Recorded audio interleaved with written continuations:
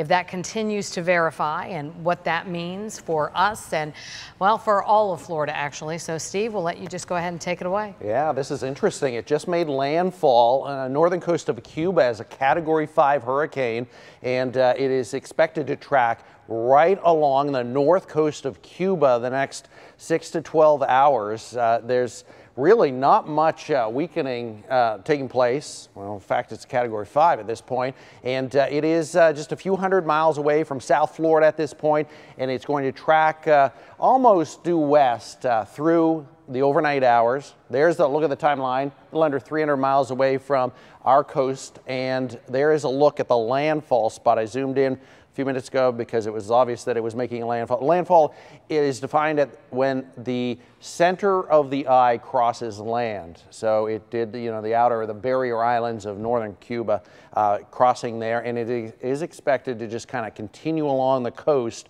hugging the coastline through the overnight hours. Now here's the latest forecast. So we have a uh, hurricane out 160 miles an hour a Category 5 hurricane once again in the forecast track paralleling the coast right into Saturday evening. And then that turn back to the coast, and it looks like this track is shifted a little bit to the west. We're now closer to Key West as a Category 4. That is Sunday morning. And then taking the storm, uh, it, this track is farther west. It's adjusted uh, a little to the west even tonight. There is Sunday at 8 p.m.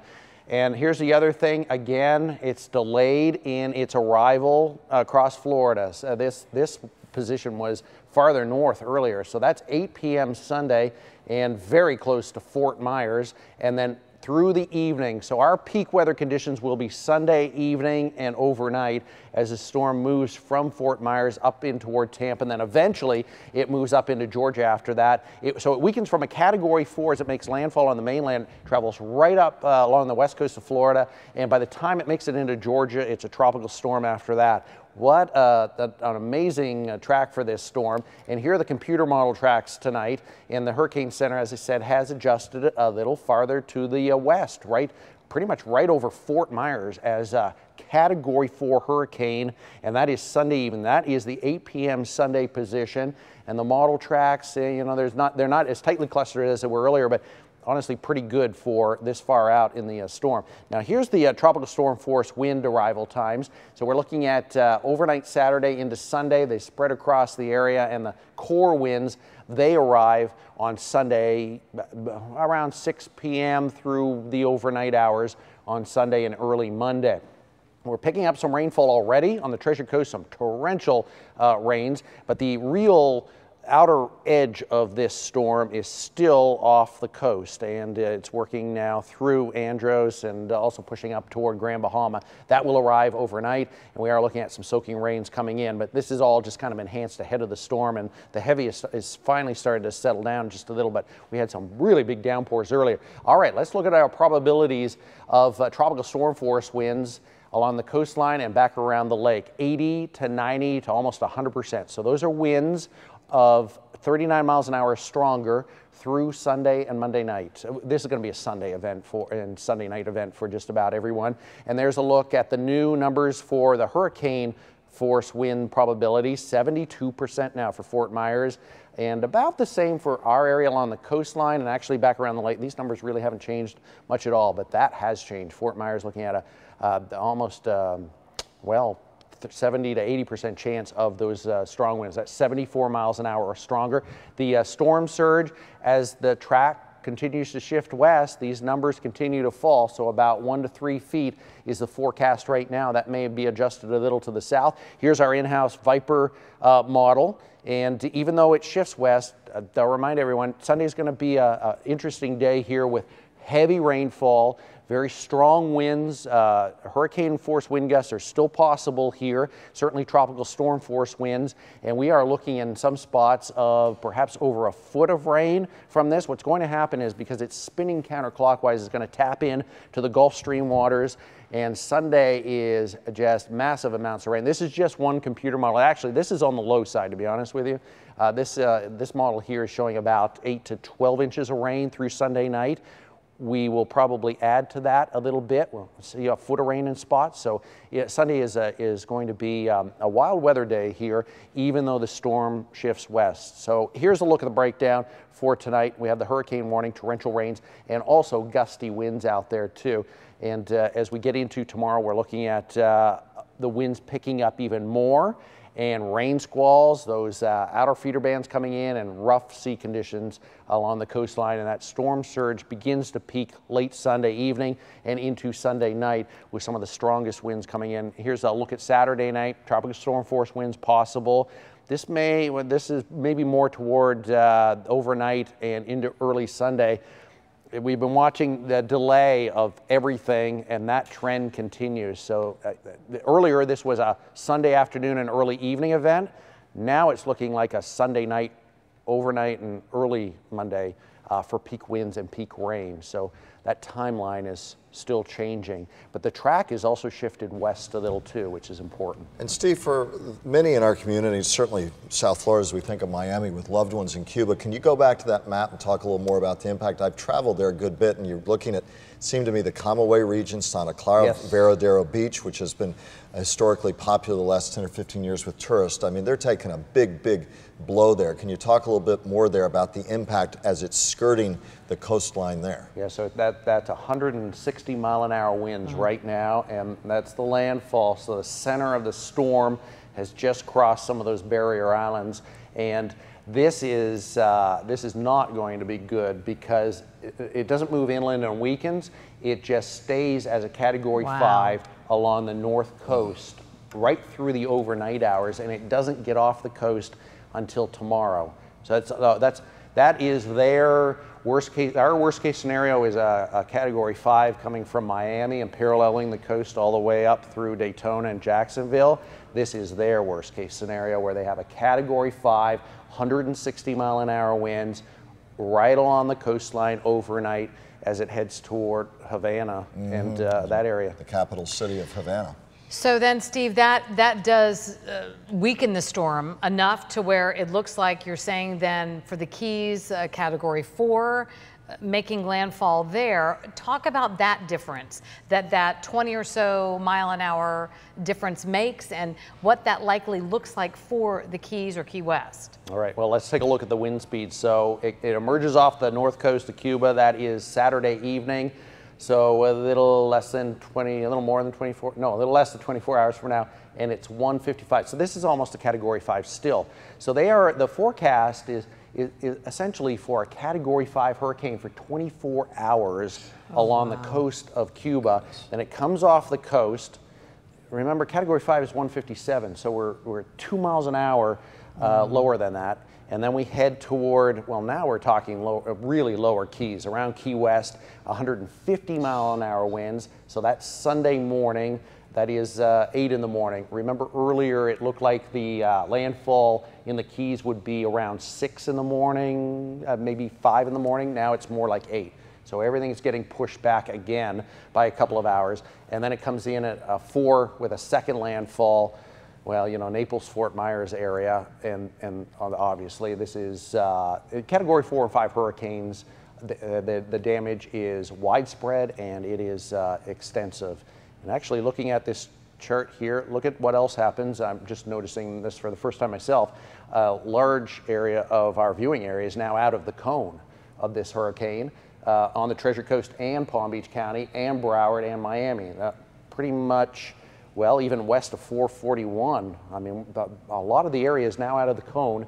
Now, that does not mean we're, we're not going to get any kind of weather here. Sunday still looks really, really nasty as far as uh, winds and rain, but uh, that's encouraging too, that uh, we're finally getting out of uh, at least somewhat of the cone and uh, that that's going to that trend's going to continue. So the next uh, the update at 5 a.m. I suspect will almost be out of the lake or very close to it. Well, that was my next question. Was then because it raking over Cuba and then having a shorter distance between Cuba and the Keys. Uh, you know, is there the opportunity for that windshield wiper that you've been telling us about to kind of swing back? I think we're all just like, What's sure. going to happen next? What well, could happen? Well, yeah. Now we, but the, now when you think about it, we've had since 5 a.m. We've had 5 a.m., 11 a.m., 5 p.m., 11 p.m., and consistently shifts to the west. It's a very unusual track for a hurricane to come out of the Leeward Islands and track along the southern Bahamas and not turn um, and, and turn off our coast and then go up the east coast toward the Carolinas. It's, it's very rare for a storm to track into the Gulf of Mexico or very close to it, which this one will do. So it's very unusual. It's, uh, this, is this could end up uh, very much like Donna back in 1960. I showed it earlier in the week mm -hmm. where it, it comes uh, down. Donna, I don't think made a landfall in Cuba, but it came through the Florida Straits and then wrapped back around and made this uh, landfall around Fort Myers and then up the coast. This is this is turning out to be very similar to that. It, that's a famous Florida hurricane back in 1960, and this is a very similar track. You know, we look at it on the map, and then you start realizing all the lives. I mean, this is turning into an historically mm -hmm. catastrophic storm for the Caribbean, which will be in need of international aid, Cuba, an island of 11 million people, the Florida Keys, and a good chunk of Florida in the path of a storm that when you look at that path and you start mm. thinking of the people there, I mean, it gives you chills to think about uh, what we're going to be experiencing on the mainland of Florida uh, in the next few days. Something that, uh, again, it bears repeating. Steve, you've talked about a lot. It's the scenario that they always have dreaded the most a south to north hurricane along this hugely populated peninsula after ripping through the Caribbean. And you know, there but with the grace of God go I. Could have been the East Coast. Uh, and, and, and, I know it could yeah. still, how much could it still change? I guess well, that's my other question. Uh, well, let's go back to the, the um, I'll advance it just a little here. Let's show that error cone. So there's our track out uh, across Cuba and then into the Keys. And now here's, here's why the error cone is here. Well, the error cone is saying that this point here could still be at, well, let's bring up our viewing area be a better description here. So it, it's saying that this point here could still be in Palm Beach County. That is still possible. And the hurricane force winds stretch out 60, 70 miles. So you could still get a significant hurricane coming through Palm Beach County. That's, that's still possible. This, this cone really has to move more to the west to, to really see a dramatic difference in the weather here. But this is the most likely track, and it obviously very encouraging that we're starting to drop out of some of the, uh, the highest threat. But if, that, if this obviously is here, we have a category four in Palm Beach County. So there's still that chance. But with four consecutive now tracks, each one shifting it west, uh, it is looking certainly uh, better for us. Not completely out of the woods, but definitely better. Steve, is there any chance that it could perhaps, of course, if it moved further west, then somebody else on the Gulf Coast gets it? But I do have to ask for our friends and neighbors in Southwest Florida right now.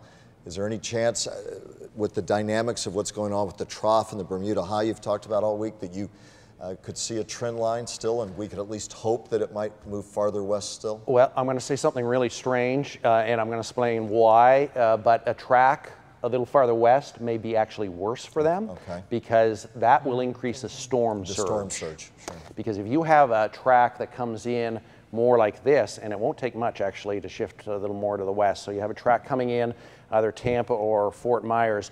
All of this water sure. float. This is the most susceptible area of storm surge in the entire state of Florida, mm. around Fort Myers and Naples. You go miles and miles and miles in them with a category four or five. So that is the significant threat. In this case, there's not that big uh, fetch where the, the wind is traveling over a large area of water. But if this is here, if this center is here, then it has a chance of dragging all this water in toward uh, Fort Myers and Naples, and that that is a worst case scenario. So I, I know it sounds weird to say that no. Uh, no, to have it here than here, but it, if storm surge is the greatest threat for loss of life in a hurricane, mm-hmm. and having a track right here would be actually worse than having it over the area it's human nature to see that cone, Steve, and to want to go. What is your bottom line message to our viewers? We'll be up mm -hmm. with you 24 7, but to those of you who are going to get a little nap time, if you can, during the night, what's your bottom line message to the viewers in our community right now? Well, uh, certainly through the entire day, it's been um, a, a, big improvement. I mean, we, we could have seen tracks go the other direction today. It is still going to be a big weather event for us on Sunday.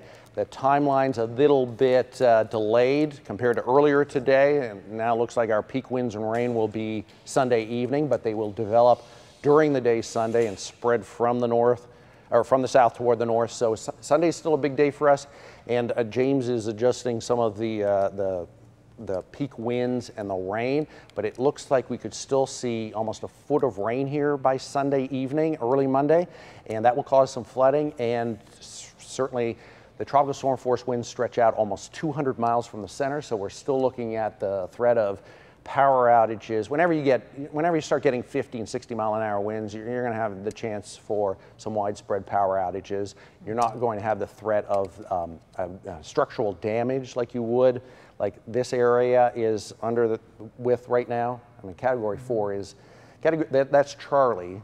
That's a Charley type storm, which, and we saw some of the damage from Charley and brick buildings start to, to fail with uh, category fours and fives. Yeah, I was over there for Charley when it hit. It was devastating. Yeah, it certainly was. All right, Steve, um, anything else?